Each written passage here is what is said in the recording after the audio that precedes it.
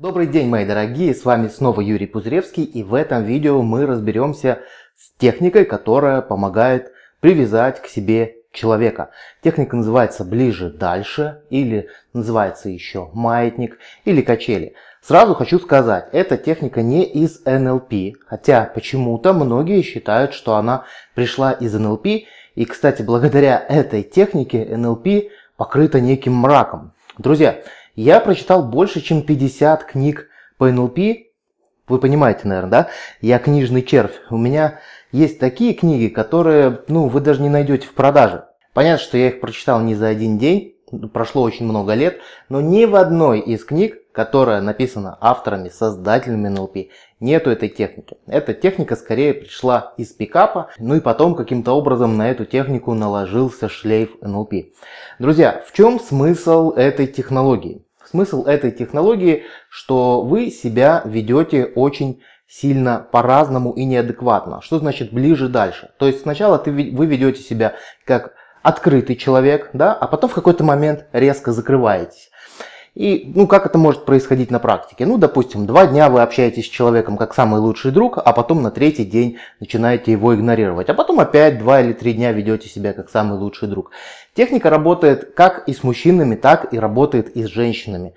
И работает как между родителями и детьми, так и работает с другими. И она в буквальном смысле привязывает, она в буквальном смысле привязывает, но в чем опасность вообще этой технологии? Ну, во-первых, Задайтесь вопросом, если вы кого-то хотите привязать к себе, как вы потом этого человека будете отвязывать? Я на самом деле не знаю, как это работает. у меня есть предположение, что срабатывают наши детские импринты, когда у нас есть родитель, допустим, мама, да, а наша мама, она во-первых, она нас очень сильно любит, но одновременно она нас и ругает. И вот в детстве у нас формируется такой паттерн, что нас как бы и по головке гладят, но одновременно могут и по попе похлопать, да.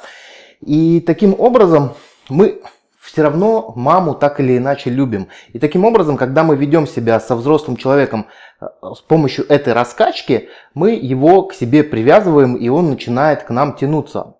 Но опять же, задам э, такой хороший вопрос всем людям, как вы будете потом отвязывать. И я не просто так э, задаю этот вопрос. У меня очень много практики, когда я работаю как психолог, как консультант, и помогаю людям избавляться от таких вот привязок.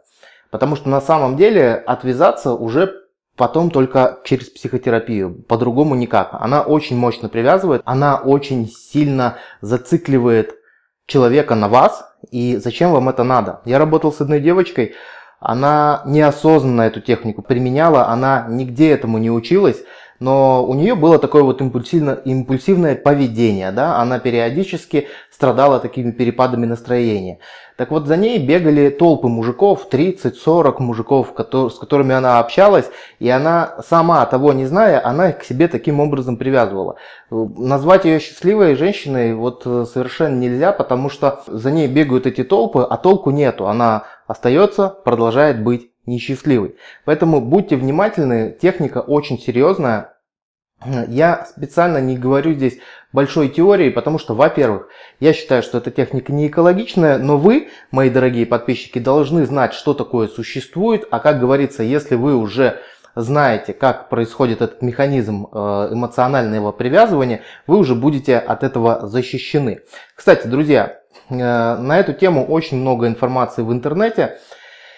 И я бы хотел вас попросить, чтобы вы комментариях написали, какие еще вы знаете мифы про НЛП. Говорят, что НЛП это сплошные манипуляции, что это псевдонаука, что это э, что-то плохое, черное. По моему мнению и по мнению многих психологов, НЛП это модель психотерапии, да, но ни в коем случае, я опять же повторюсь, ни в одной, даже старой-старой книге по НЛП нету описания техники, которая называется качели или техники, которая называется ближе дальше.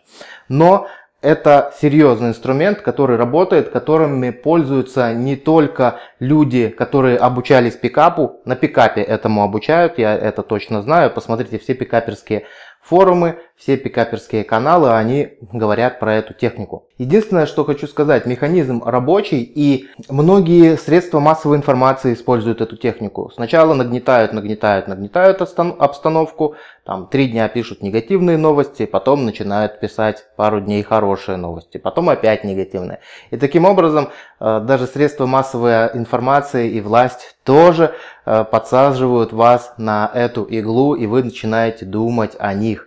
И это происходит сплошь и рядом, поэтому я всегда считаю, что если ты вооружен, значит ты защищен. Если ты знаешь технологию, значит у тебя уже есть своеобразная прививка от этого. А я жду от вас комментариев, какие мифы про НЛП вы еще знаете. Напоминаю, что у нас идет конкурс. Как только мы наберем тысячу подписчиков, я разыграю один или два билета на курс НЛП практик онлайн. Поэтому, если это видео было вам полезным, если вы вдруг становились жертвой вот этого вот эмоционального раскачивания, обязательно тоже напишите в комментариях.